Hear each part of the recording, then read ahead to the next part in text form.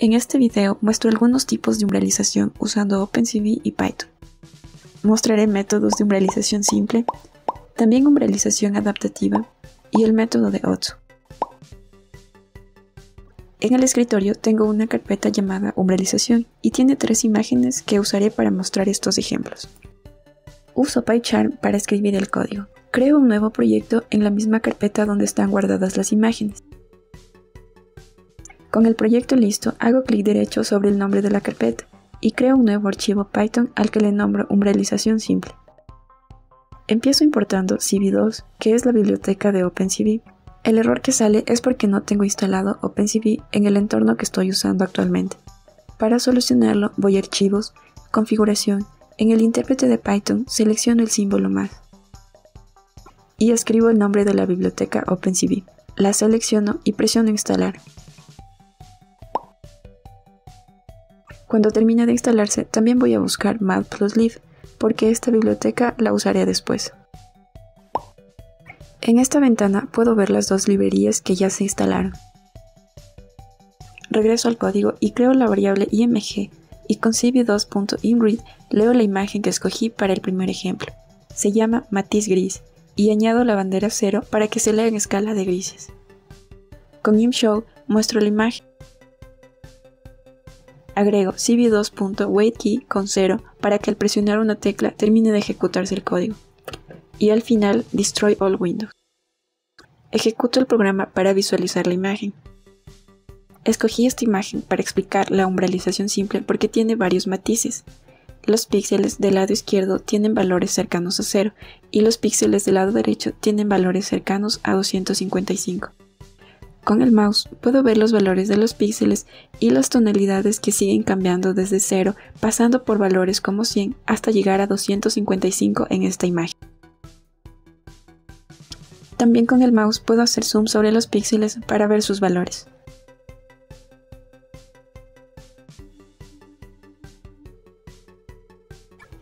Continuando con la umbralización simple, en la documentación de OpenCV muestra los tipos y añade fórmulas para comprender el funcionamiento. En el código para implementar umbralización se usa la función threshold, que recibe los siguientes parámetros. El primero es la imagen que va a ser umbralizada.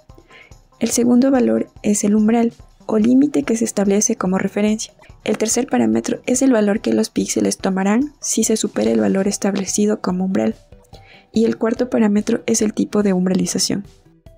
CV2.threshold devuelve dos valores, red que representa el valor del umbral y threshold que es la imagen umbralizada. Muestro esta imagen obtenida para comparar. El umbral que establecí fue 100 entonces en la imagen original ubico dónde está ese valor.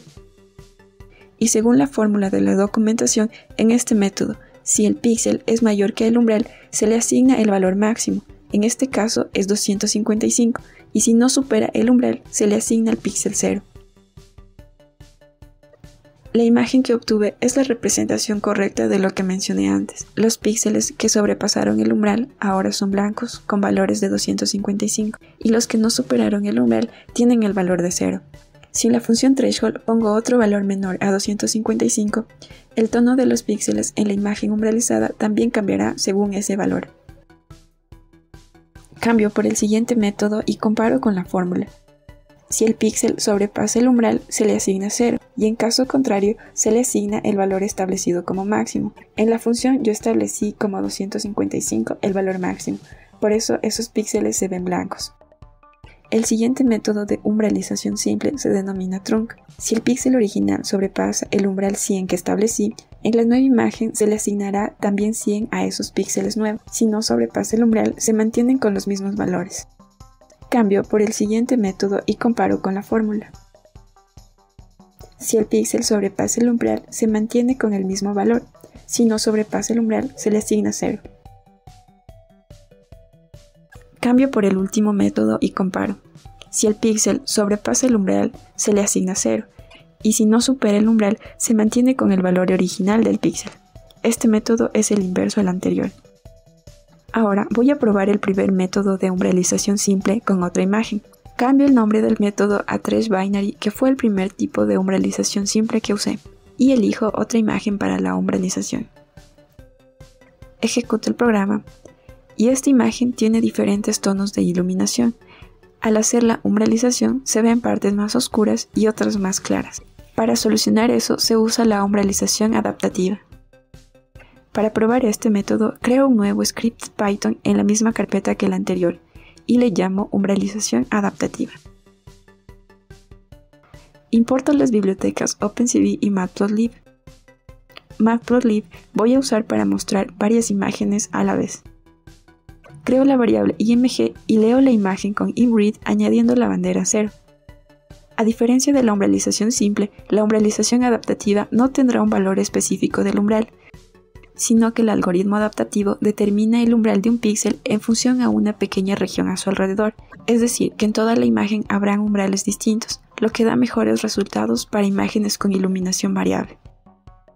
Para la umbralización adaptativa uso CV2.AdaptativeThreshold, que recibe los siguientes parámetros. El primero es la imagen para umbralizar, debe estar en escala de grises. El segundo parámetro es el valor que se asigna a los píxeles cuando pasan el umbral, en este ejemplo es 255. El tercer parámetro es el método adaptativo. Se puede elegir entre Adaptative Trash Min o Adaptative Trash Gaussian. El cuarto parámetro es el método de umbralización. El quinto es el tamaño del bloque que tendrán los píxeles vecinos. Y el último parámetro es una constante. Este método devuelve un valor y es la umbralización de la imagen. A continuación, escribo la misma línea anterior y establezco el tipo de umbralización adaptativa, Trash Gaussian.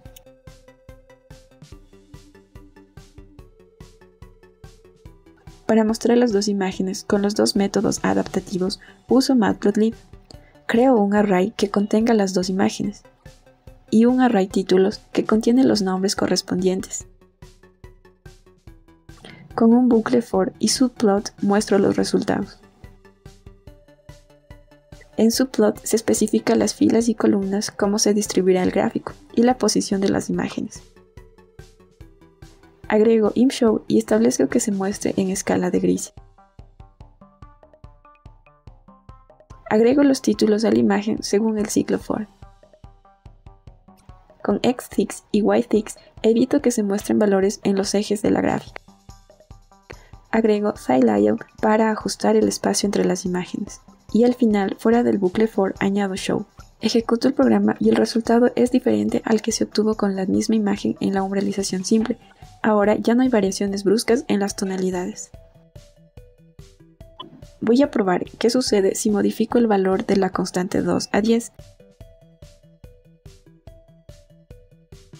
Y el resultado que obtengo es que la imagen aparece más clara. Puedo probar con distintos valores el tamaño del bloque de los píxeles vecinos y la constante C. Finalmente, muestro el método de Otsu para binarizar. Creo un nuevo script Python con el nombre umbral Otsu. El algoritmo de Otsu va a encontrar automáticamente un umbral. Y aquí leo tres imágenes en escala de gris para ver cómo funciona este método.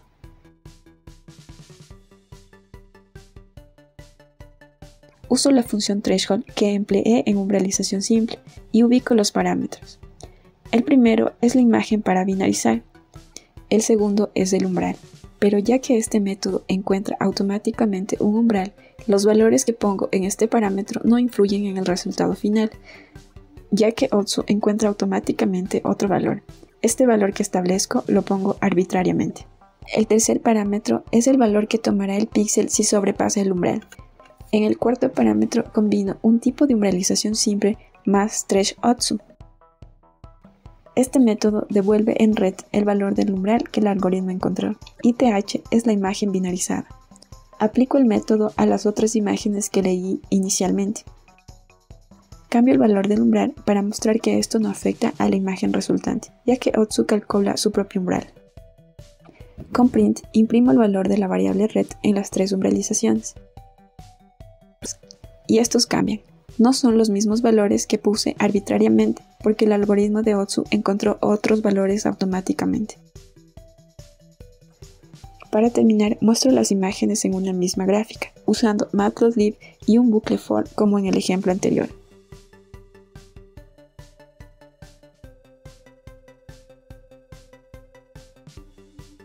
Y Otsu encontró un umbral global para cada imagen.